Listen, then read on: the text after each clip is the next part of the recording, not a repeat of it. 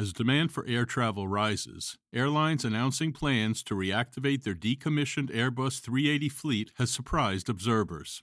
Lufthansa is the latest airline to reverse course after CEO Carsten Spohr announced a few months ago that its A380 fleet was to remain grounded.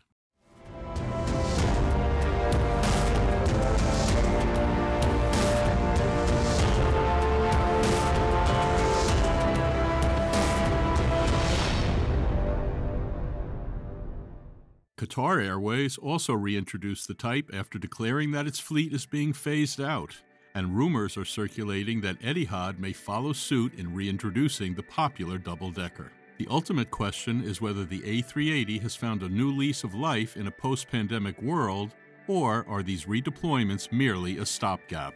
Given that the recovery from the pandemic is already well underway, Introducing the type at this late stage for Lufthansa gives the impression that the decision is very much an afterthought. While a number of airlines have pledged their loyalty to the type for the foreseeable future, others have deemed it less desirable.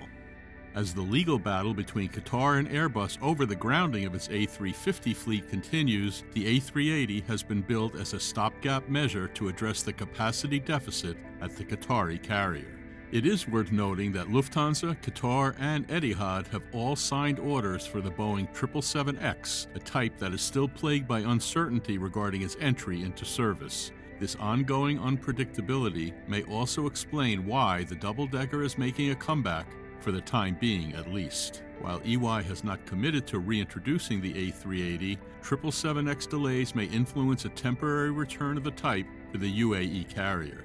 Airlines around the world are seeing jet fuel costs bite further into their revenue, and data from IATA shows that the current average price of jet fuel is around $1,350 US per metric ton. This represents a 117% increase over the previous year's price and is still 75% higher than the previous peak in fuel prices in the second half of 2018.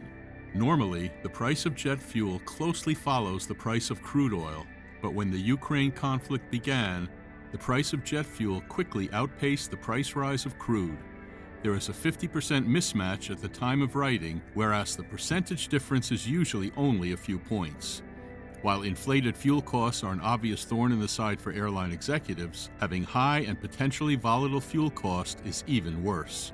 When fuel costs more, it has to be passed on to the passenger, and the longer an aircraft stays in the air, the higher the value that needs to be added to the ticket price.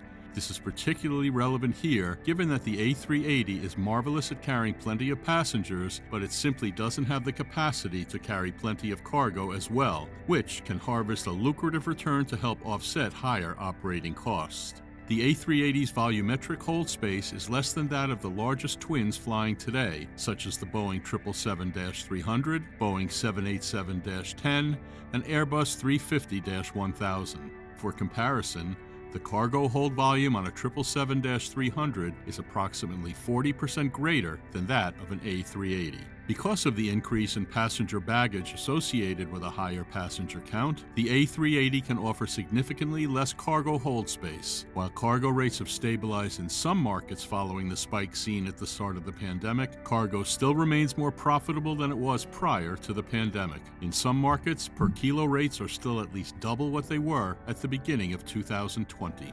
When we do some rough calculations, it quickly becomes clear that the A380 is becoming difficult to operate for very long journeys with the current fuel price. If we consider a laden A380 and the previously mentioned average fuel price, a good rule of thumb at present is that the average cost of fuel per hour is around $17,000 US. Granted, this value decreases during flight as the aircraft becomes lighter, but it should be a reasonable average. Let's consider a capacity of 500 passengers. The fuel cost per passenger per hour is $34 US. That might not seem like much, but a 12 hour flight jumps to $408 US, and keep in mind that this is only for a one way trip, so the cost must be doubled for a return trip. The A380 is already being used for some marathon length flights, and the key to success in these difficult times is to ensure that the ticket revenues can address the exorbitant cost of fuel. Filling seats in premium cabins on long flights will be critical because it will reduce the unpalatable cost per passenger that those traveling in economy must bear.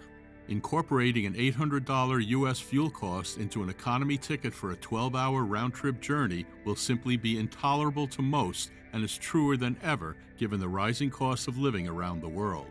If the A380's return is to be a success, then premium seats must be filled on more lengthy journeys. While the A380 is a firm favorite among passengers, many crews, and of course enthusiasts who love to see it, further volatility in fuel prices could curtail its reappearance.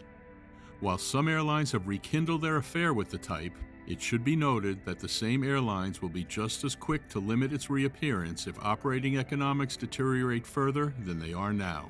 For the time being, at least, it would appear that the affair with the A380 for some airlines is one of necessity rather than love.